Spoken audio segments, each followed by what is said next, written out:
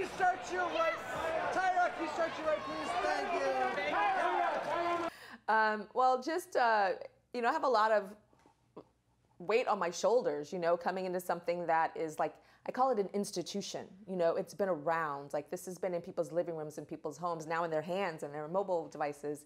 You know, for for a long time. So what can I bring that's interesting, different, unique, and how can I also respect all the beauty that's already been there even before I got here? So. Um, there's a lot. I hope to bring a lot of people um, that weren't ne- not necessarily watching before to like to come um, and to entice the people that are, are the diehard fans to bring them something new. I can't say exactly all the things that we're going to be doing, but um, we're going to shake it up just a little, but not so much where it's like, what the heck is this show? We're not going to be doing that at all. I think it's important to respect what, what, what it is.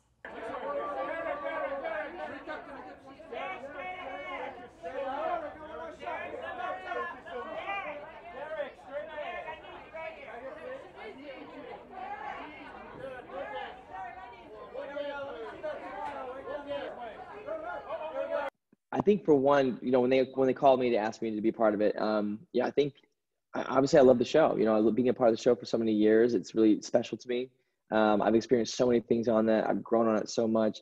Um, but uh, I think especially in these times right now where it feels like I don't know. I feel like for me, entertainment and bringing a little bit of joy, a little bit of light, um, is much needed. And to be part of you know Dance with the Stars, which is like literally the embodiment of of joy and, and pure entertainment and sparkle and you know just I think um, I think it's uh, it's a, it's a, it's it's much needed. So to be a part of that, I'm uh, I'm excited, very excited about it.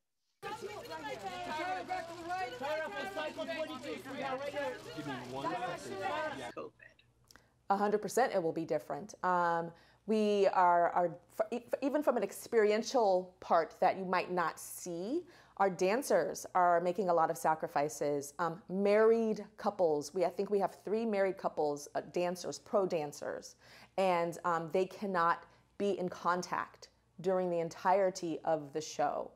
Um, so that's like a big sacrifice. Um, we will not have a live audience, but we will be in the ballroom.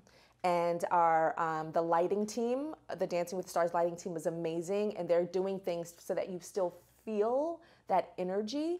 Um, and then I, there's a lot of weight on my shoulders to make sure that I continue to have that energy be up here, even though there's not an audience in the room. Yeah, it's you know it's interesting because I think at when you first hear on paper, you're like, oh my gosh, this is going to be how are they going to do this? But for me, again, being a choreographer, whenever I was given like limitations, I said, okay, you can't do this, you can't do that. I actually would end up coming up with my best work because I sort of like when you're given limitations, you, you get creative, you create solutions. And I think that's kind of the way I'm looking at the show, the season. I'm like, all right, well, we can't have this. What can we do? All right, you can't do this. Well, what can we do? What can we create? And I think that that, from what I've heard, they've done a great job at um, coming up with the solutions to to not making you feel like there's something missing or there's a scarcity or a lack of. You're gonna be like, oh no, this this feels great.